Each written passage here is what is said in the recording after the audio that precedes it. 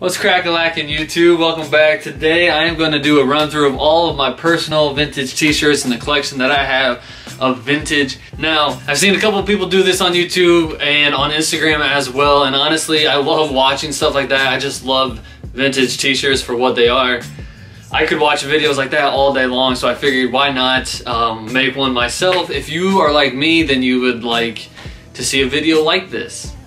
I just used the word like a lot in that sentence. A couple channel updates. So first, uh, reseller game, the champ game. Out of all six of the reseller games that I did, three of those champions said they wanted to compete for a higher um, game. So that championship game is going to be coming up. And then another big mystery box is on its way. Hopefully I will have that by Monday. Alright, these are all of my cherished vintage t-shirts. I don't have that many. Honestly, I just have this top rack of vintage and then a small little pile right here in front of me that's not on hangers. And I'll go through these ones down here first. But before I get into it, something about me. For one, my collection isn't that big. It's honestly just this one little rack right here and then a couple stragglers down here because I have a problem with having money just sit around. I like to just keep what I wear. So if I don't wear a piece, then usually I try to sell it off. And then on top of that, I do like to cycle through my own collection. So like if I wear a piece like four, five, six times and I think I'm done with it, then I will sell it off as well. And then on top of that, there are a couple pieces that I have that will never be for sale. Probably never. Never say never, so probably will never be for sale.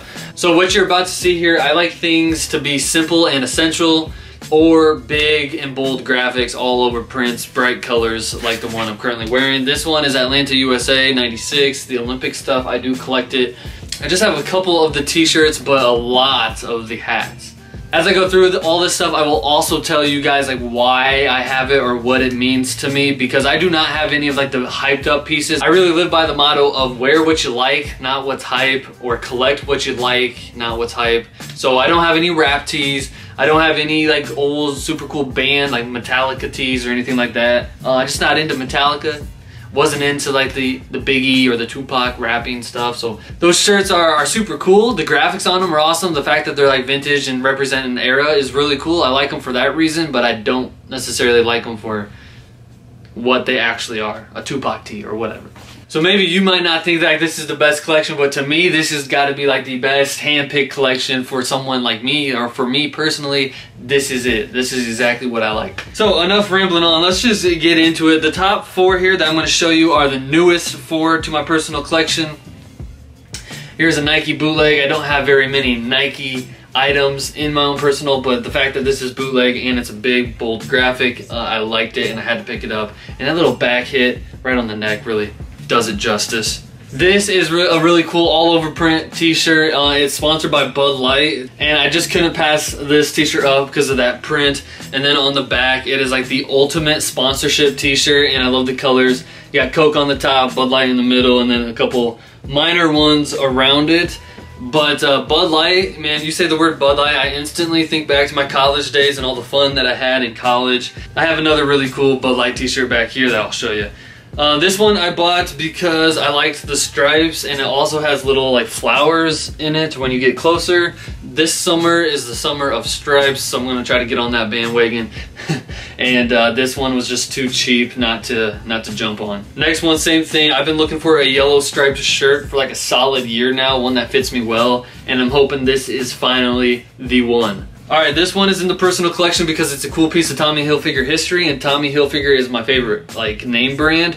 Hope is more powerful than a hurricane. And then on the back, you had Tommy Hilfiger and the spell out with American Red Cross um, for help. This is something that Tommy Hilfiger did for a hurricane relief fundraiser type of thing. Um, Really cool piece of history. It does not fit me though, so this one will be actually up for sale. This is just super cool. Someone wanted 10 bucks on an Instagram story sale. I got this probably like six to eight months ago. This is the back. There's nothing really on the front. There are two sleeve hits though. Snickers on there and Snickers on there. But for 10 bucks, I was like, geez, I like Snickers. I'll grab that one. Uh, this one I just got out of a mystery box. This is the Michelangelo thing, so this one kind of hits some really strong memories for me as well. I went to Italy for three months when I was in college, and when I was there, I saw two pieces by Michelangelo. And this t-shirt, like, first off, this t-shirt is just super cool. It's an all over print with all of his little artworks on it and his sculptures. Like this the statue of David and all these crazy things. And it has a Michelangelo spell out on it. But anyway, when I was actually in Italy, I saw two of the things and it was just super cool to see that kind of history with your own eyes. So uh, I guess I have to keep this t-shirt for myself. You're gonna notice a couple of these actually have to do with just like history subject matter. I'm a history teacher. I think history is awesome. It's actually the reason why I like vintage t-shirts. There's a long backstory to it that I've talked about before in my YouTube. I'm not gonna do that now, but yeah, just old stuff. History is just really cool and appealing to me. So this is just a simple essential, as I mentioned before. This is another one that I decided to keep. I did have this up on my Instagram story sale, but it did not sell. So I think I might just hold on to this for a while, maybe wear it a couple times this summer. I also lived for three months in Hawaii, or I worked in Hawaii for three months at Pearl Harbor, the Navy base there, and uh, this is from Oahu, Hawaii, this t-shirt. It's vintage and a couple of these things, actually this whole little border right here on the side. I've actually been to all those little things that this t-shirt is talking about and I really liked the colors so that one is staying with me. This one I got in one of my first ever YouTube videos. I got this right as last summer was approaching and again with the history subject matter um, sea power you got the Soviet hammer up against USA baby. Okay and I'm glad we breezed through those ones. Uh, those were the ones without hangers. Now we're gonna go straight into the ones on hangers, try to make this as easy as possible. Here's just another long sleeve stripe. You couldn't pass this up. Uh, this has a little request request embroidery on it. I don't know what that is. This is authentic request knitted wear. But I love the colors. It's a long sleeve striped shirt and it fits me perfectly so I had to keep it. Uh, this one is in the personal collection but it is up for sale. It's Guess t-shirt. Uh, if you like vintage you gotta like Guess and I really actually do like the brand Guess or at least the older stuff they did just because I kind of like the stripage that they got going on. But yeah, this one's up for sale. It's not the true vintage one. So it goes to show how much thought was put into that purchase. Moving on, we have the Frankie Valli and the Four Seasons. Man, I was obsessed with these guys when I was in high school. Saw this t-shirt, had to buy it. Never seen another one. Frankie Valli, the Four Seasons, got beautiful colors on it. A tan t-shirt with just all of those highlighter colors. Uh, if you don't know who Frankie Valli is, it's just like an old boy band, like one of the first ever boy bands. Uh, just really cool, man. Yeah, I don't know why I was obsessed with them. I saw the movie The Four Seasons, and then it was just off from there. That one is not for sale. It's one that will probably never be for sale. It just means too much to me. This is a Grailer all over print Energizer Bunny Soccer World Cup t-shirt. I do coach soccer. I've been playing soccer my whole life. Soccer was my favorite sport to ever play and this vintage t-shirt is just crazy. You have to have it for the personal. This is another one that I will probably never be selling.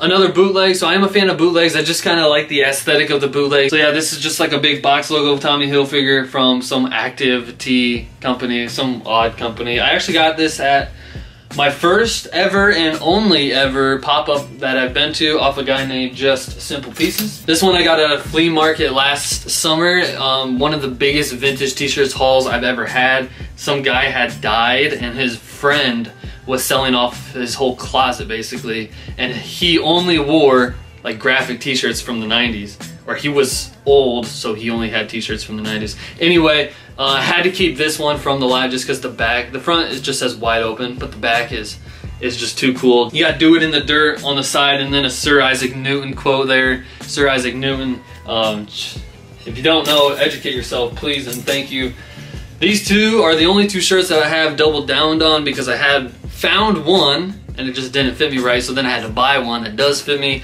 I am a teacher, if you didn't know, full-time history teacher. Um, again, I like history stuff so I doubled down on that t-shirt. Bon Jovi long sleeve, I got this from Four Bears Goods in his box. This one is up for sale, but until it does sell, it's in my own personal collection. I like Bon Jovi. This actually fits me pretty well for a long sleeve. Yeah, I don't know. Bon Jovi is, I guess, one band that I do have some memories with because my mom used to blare it over our like loudspeakers in the house when she was cleaning when I was younger. So Bon Jovi just has a little bit of childhood memories associated with it. I think this is the only NASCAR t-shirt I have in my collection and it is only in my collection because it's the craziest NASCAR t-shirt I've ever seen with my own two eyes. So had to hold on to it just for the all over print uh, aesthetic here. This one is also up for sale.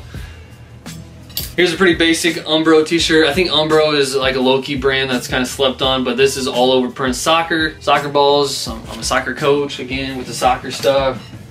This one I recently got off Instagram. It's just really cool. I like the like all over fade to it. That's basically why I bought it. And then the whole cracking of the Indian and the, the clouds and stuff. Pretty cool piece of artwork here, so I had to grab that. Vintage Iowa State. Iowa State is where I went to college and made all those fun memories. It's on one of my favorite tags there just to spell out nothing too crazy. Next up is a Tommy Hilfiger box logo. It's the only big box logo t-shirt that I've ever had in my collection. However, this one is up for sale because it doesn't fit me right. Okay, again, I am a teacher, so Dare Teachers Care, like, come on, for the vintage Dare t-shirts, this is the perfect one for me. If you're into vintage, you have to have at least, like, one Dare t-shirt. There's so many different Dare t-shirts to choose from, and this is obviously got, yeah, the one for me, man. Don't do drugs, kids. Um, champion, this is a made in USA, just a heather gray with the champion USA spell out there. Nothing too crazy, a simple essential piece, you know, that I have. Another vintage Iowa State t-shirt. Iowa State has some pretty cool old like graphic t-shirts. And yeah, this one is just too cool to pass up. I'd rather be an underrated Cyclone than an overrated Hawkeye. That is so true. Um, Hawkeyes suck. This one, okay, Woodstock. So again, I'm a fan of the historical context of Woodstock and what Woodstock was. Woodstock is actually a huge part of history and it should be talked about more for what it did for like the social culture of America. Um, and I got this t-shirt because, you know, three days of peace and music. I like music, I like peace how to get the t-shirt. Here is the Grayler Budweiser t-shirt. This one uh, is up for sale, but it's at a very marked up price because I would hate to get rid of this. And I do want this one to stay in the collection. Uh, but yeah, I never seen another one of this Budweiser t-shirt.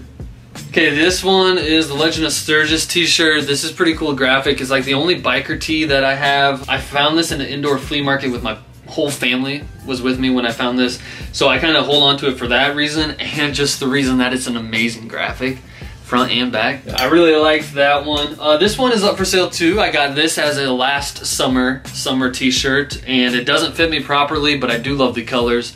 Champion is also one of my favorite brands and I'm glad to see that they had such a good year last year. So if you are interested in this one, DM me at Bob Dabra. That's my Instagram. That's where I hook everybody up with the steals and deals. You know, honestly, everything is for sale at the right price.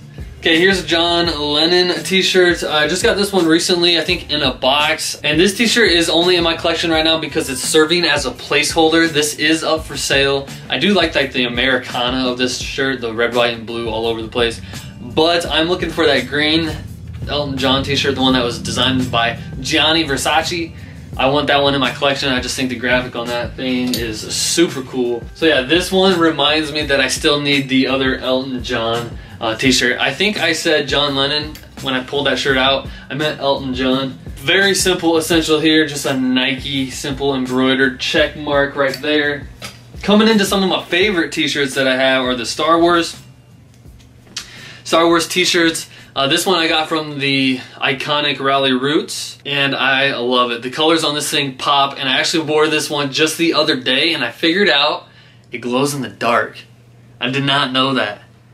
So yeah, this is this is one of my favorite t-shirts um, right now. And then just to back that up, a very similar print. This is another one of my of my favorite t-shirts. This one I've had for almost like Oh my gosh, I think I've had this for almost three years now. Yeah, I mean, this thing is just epic, and this is probably the best fitting t-shirt that I own. It fits me perfectly. Okay, moving on to a World Cup t-shirt. I think I have this one up for sale too. Maybe not, I don't know. I'm looking for one that fits me a little bit better. So this is, again, just kind of like a placeholder to remind me, hey, I need a better fitting World Cup t-shirt. But of course, you know, the soccer, the World Cup, the whole coaching aspect of my life, have to have that one in there. This one's pretty cool. I bought this off my cousin who had this when he was in high school. So this one is staying in the family. This is another one of my favorite t-shirts just because it's that Tommy Hilfiger small script box logo. Gotta love it. Okay, Tommy Hilfiger is my favorite brand, so you have to have some simple essentials as well. There's a little spell out right on the chest for you. Another Umbro soccer t-shirts. Again, I think Umbro is kind of slept on. Like, how do you get a big spell out like that and nobody appreciates it? Also, if you look closely on this one, there are soccer balls in the backgrounds of the letters and obviously you know soccer on the back there. So yeah, I like this one a lot as well. Again, Champion is one of my other favorite brands. Simple, essential, got the little spell out there. You gotta have at least one.